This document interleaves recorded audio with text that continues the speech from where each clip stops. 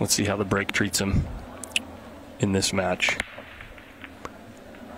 Plays the second ball break, and that corner pocket has just been devouring the cue ball for these last two matches.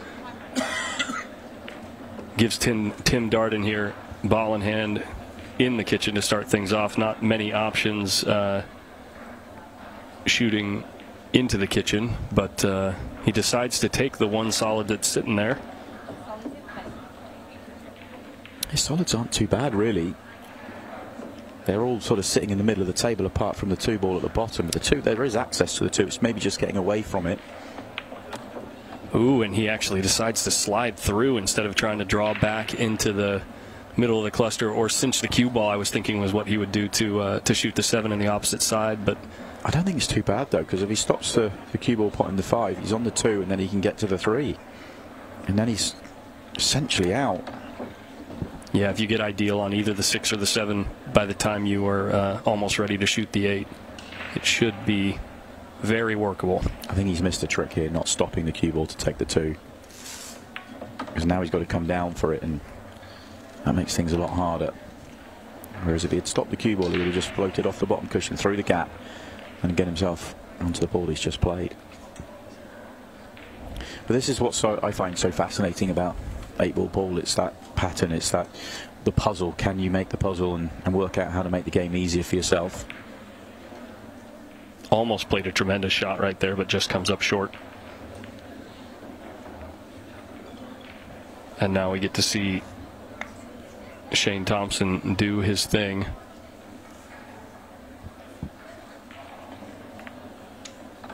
Just so beautiful the way he slowly draws back the cue and, and just perfectly straight glides the cue along his chin straight through the shot.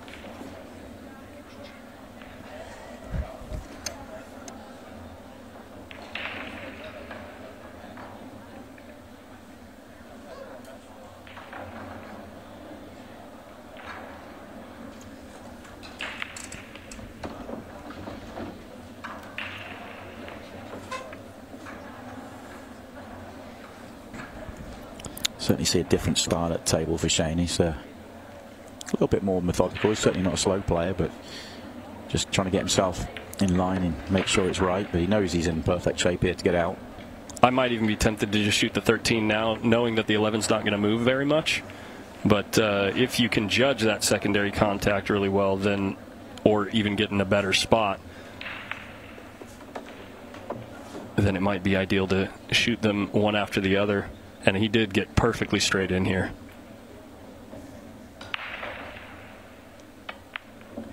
Wow. He really does just have that beautiful touch. You know, he backs his cue ball when he needs to land. You know, absolutely on the spot. He invariably does.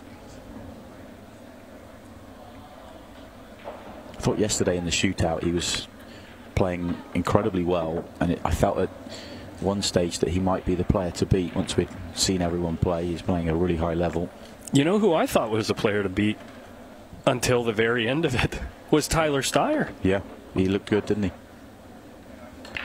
Well, Tim Darden, after missing his first opportunity, has the break here in rack two. Cue ball following forward through the break, but ends up with a nice spread, makes the two ball in the bottom left corner. And it is another very good layout for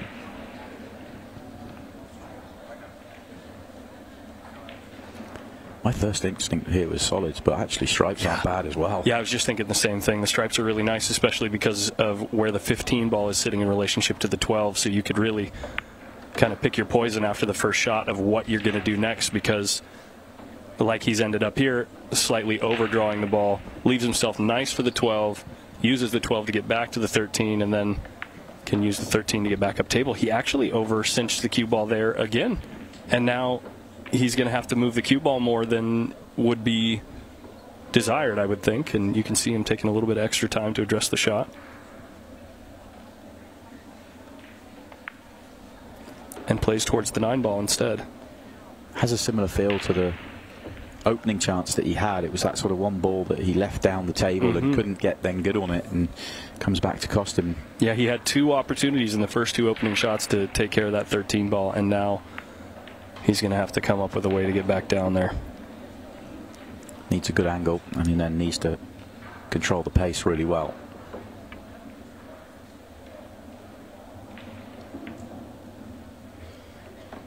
And now on the 10 ball being quite straight, actually at a spot where he can cheat the pocket a bit and follow forward two rails and probably land fairly ideal on the 13 ball. He's going to have to come with a good stroke, though.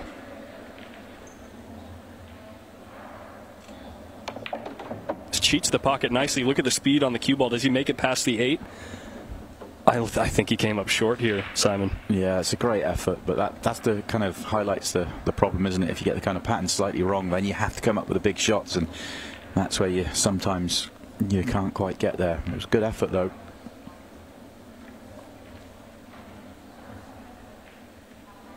Goes for the soft kick here. Cue ball on the short well, short rail, well near the short rail, I should say. But uh, looks like Simon will just have a slightly tougher opener, and then we'll be off to the races. And he does find the pocket. Three ball definitely in play over that side pocket. Nothing really lays incredibly difficult. Nice little nudge on the four ball there yeah, these are the sort of layouts you just don't expect a player, any professional player really, to make any mistakes with. Just got to mind your work. Notice what he did right there. It's, it can be so tempting sometimes to, to try to place position on a ball that's close to the ball that you're currently shooting, but instead he he goes away from the four ball because he knows he can use that four ball sitting in that spot to, to come back down the table towards the seven and the eight.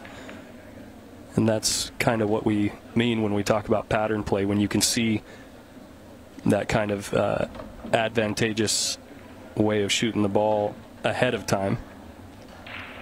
Finally, rare for Shane, got the cue ball all wrong a couple of shots ago, which means he's had to throw it around a little bit more. But he's still going to end up nicely on the eight ball.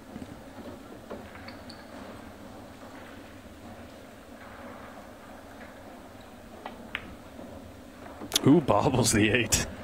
Oh my goodness! I actually. I mean, that's quite quite wide on replay, isn't it? I can't. Yeah, watching the replay, I, I'm actually shocked that ball fell. Now, of the top pros out of the UK, do most of them play this second ball break that, that it looks like Shane has been playing here, or there are some that do. There's some that will mix it up.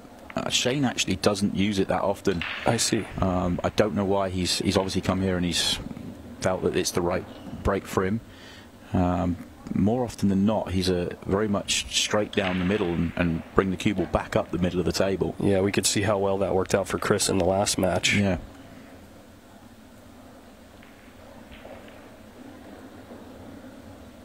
Once again, though, Tim with the first chance. And once again, it's a really good one. Tricky opener, which he deals with. 10 ball does pass this three, no problem, which should have him lay nicely on the 12 now. The thing that I've noticed, though, when he has gotten out of line is usually or has been due to over hitting a ball. So trying to cinch the cue ball uses the seven to stop it, but misses the most important part of the shot and misses the 10 ball. Yeah, missed it by quite a way. All his attention on the cannon, which he got right. He's missed earlier in the visit this time. So it's a, a, little bit more traffic for Shane, but it's a pretty decent layout here for him anyway. I got to believe he was attacking the three ball there, came up a bit short. He was just taking a quick little look at the four to see if he's going to deal with it now or later, but he's decided on the three ball. To, it, it would be tough to readdress in the future. Not the best of nudges on the one. This is the best thing about 8 ball, though. You got options. yeah. Time to recover. I should say it's the best and the worst thing, right? Because sometimes having all those options can get you in trouble. Yeah, I guess when you're playing the rotation games, you kind of you know what you got to do. Yeah, it tells you yeah, rotation's one of, in my opinion, one of the most fun games to play. But at the same time, it's one of the simplest once you really understand the game because once the balls are broken, the whole rack is pretty much spelled out. Where in eight ball, there's a lot more nuance. It's the puzzle. Yeah. I, I really love the puzzle about eight ball. Made a couple of really nice recovery shots there, and things are laying pretty for Shane.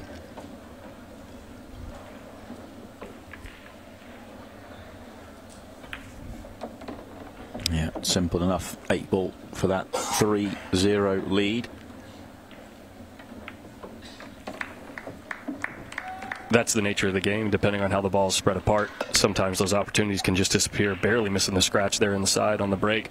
Nine ball does find a hole, and the two ball dresses up nicely here with all the solids kind of sitting in front of pockets.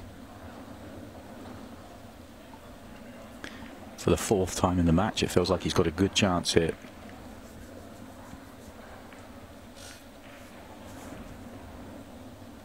First shot's a big one in this one. If you get into a, a premium spot on the table, the rack should play itself. Coming up just a little bit shy of that, in my opinion, but not the worst thing in the world. Because he did leave himself a shot on this four ball.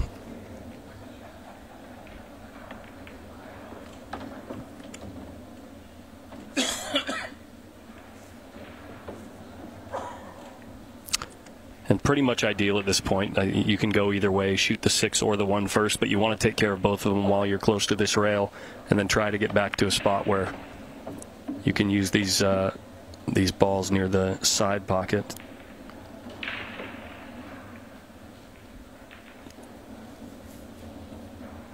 He may save the six for the last shot. Now, with traffic being there, there things can go awry. Just feels like the three doesn't really fit the pattern, though.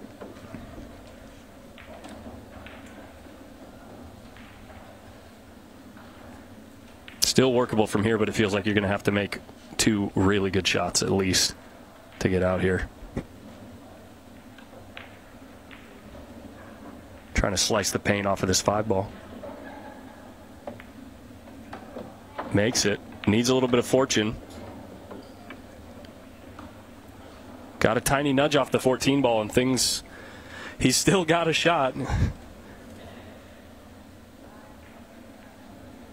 But can he manufacture something with the three ball? No. He, he the very common mistake of trying to move the cue ball more than the shot would allow and overcuts the six ball, leaving Shane again with an open table.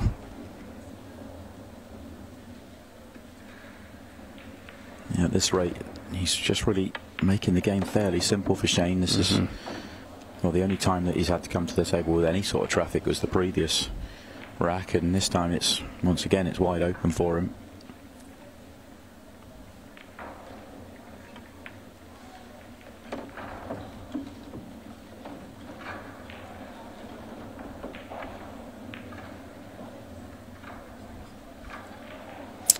I would think the answer here is to just stop the ball here, deal with the 12 ball, swing the cue ball around for the 14 or the 10. You think he plays two rails around the 10 between the 10 and 8 here? He answered your question, and he's played it beautifully. Yeah, it laid pretty good. Played the 10 nice and thick into the pocket to slow the cue ball down. And in no time at all, sorts that one out.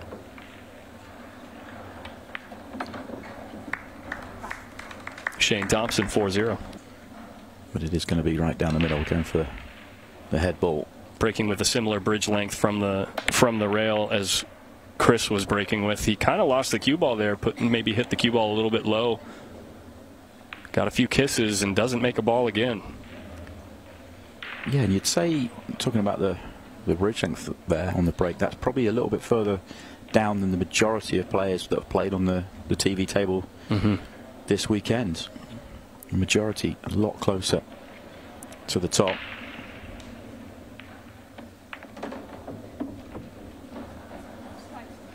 Man, that first little rub on the six ball made that shot turn out a little complicated here. Unless he's straight in on the 13 and the five's not in the way.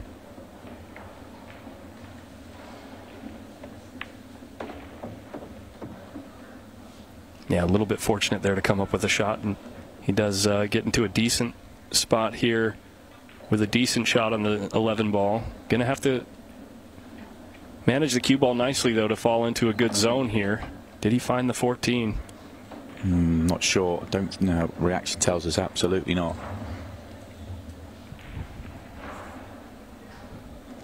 And now all of a sudden, even though he does have an opening, or sorry, a recovery shot that you might call it, uh, gonna have to come with something pretty special here to get back in this rack.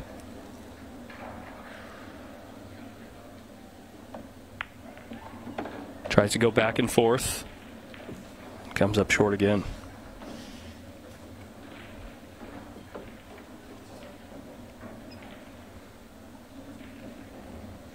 I don't know about you, Simon, but sometimes when I get into these positions and it feels like things aren't going my way, it might just be time to to fire at something. Maybe try to play the stiff bank on the 15 ball just to kind of get some momentum rolling for yourself, unless you can see the 14 ball. Well, you might as well because there's no great safety options on here, and you're going to be second favourite if you get yourself into a safety battle as well. Although he has played an excellent shot. Yeah. that was brilliant. Wow, look at the tap on the table from Shane Thompson. Beautiful, I mean, perfect cue ball speed. Leaves almost nothing but a little look at this two ball.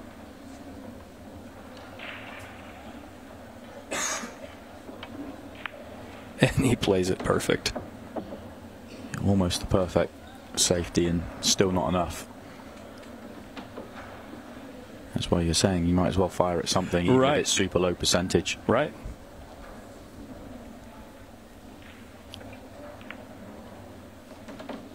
And not even just for like trying to win the game, but just trying to get some type of, you know, if things, if you do find the jackpot, so to speak, on the low percentage shot, sometimes it can give you the spirits just to, you know, make things happen for the rest of the rack. But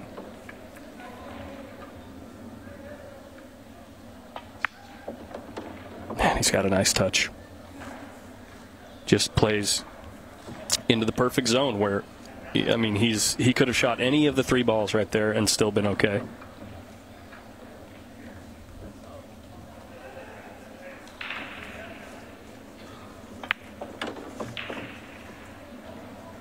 All too simple for him.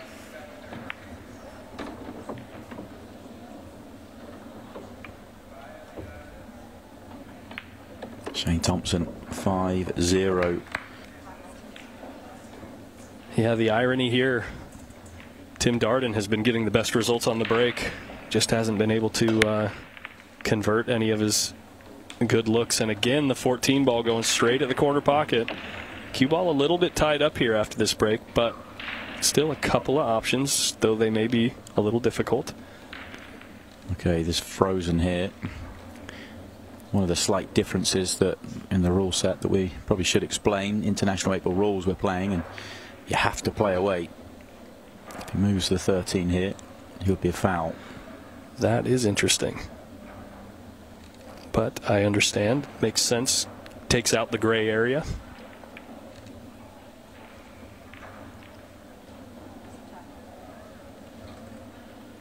First time I think that Shane's been to the table with a, an open table in the match.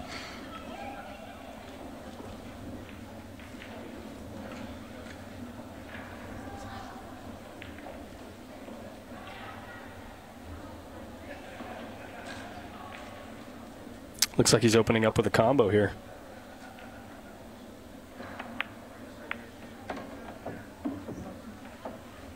Plays it nice.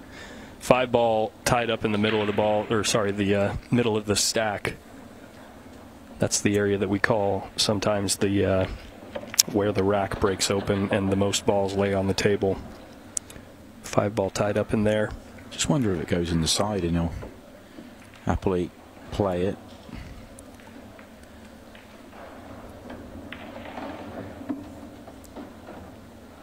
He's a player that will always back his touch to try and land and rather than move things. Sure. Maybe use the two to get there. Get some kind of look at it. Using the six, you'd have to get really straight, and the two covers the pocket that you'd be shooting the, the six into. does just decide to go into it this time. I think he would have uh, liked to have been a touch straighter on that so he could just come down the right hand side, but had too much angle and now he's in trouble.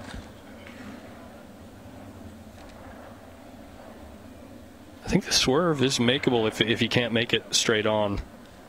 It's not ideal, but he decides to go after a carom.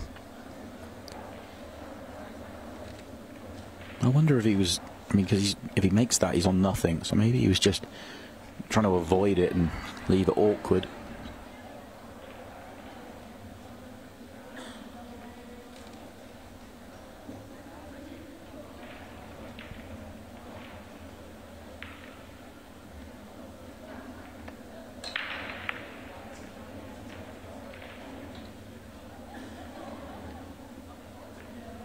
Pretty good containing shot there from uh, from Tim. Not trying to force too much out of the table.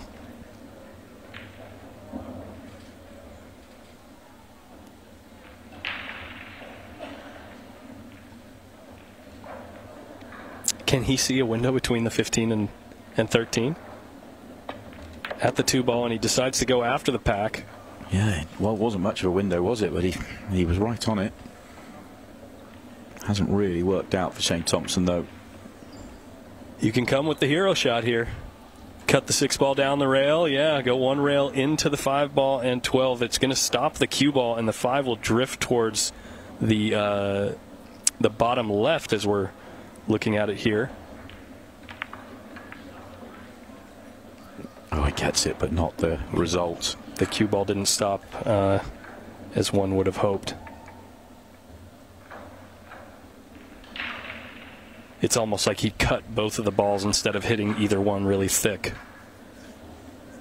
Lets the cue ball slide right through.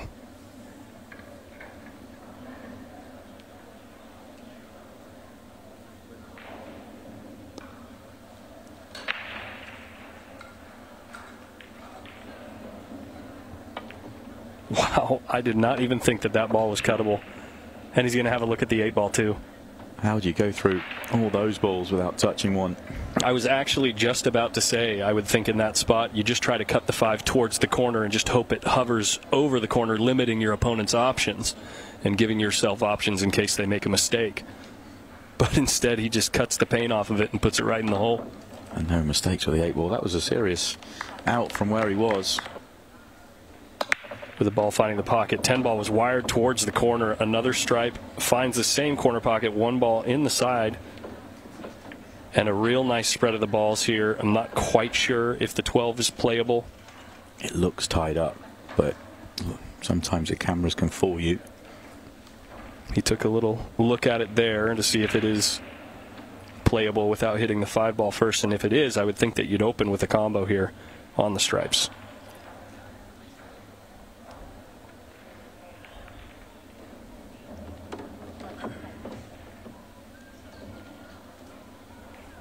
Did have an angle to attack the, the 12 straight away if he wanted to. So I think that tells us there is room.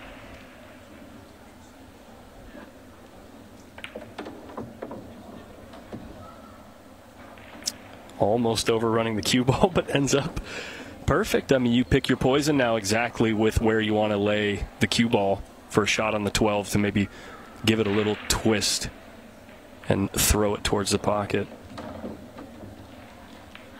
plays the 14 first. Interesting, using the 12 ball as a cue ball. Going to have to find, I would think, a narrow window for ideal, um, an ideal potting angle on the 12, unless it has just way more room than it appears yeah, on the monitor. It's a good last ball if there's loads of room there. So, oh, he's not happy with that though.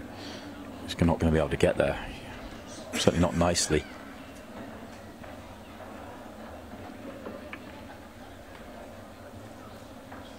You can see him stepping back quite a bit from the table, taking a couple of sighs of frustration with where he's ended up here. But with the couple of thin cuts that we've seen him play, you got to think he's a favorite to make this ball. But the question is, where's the cue ball land? Because it's going to be moving.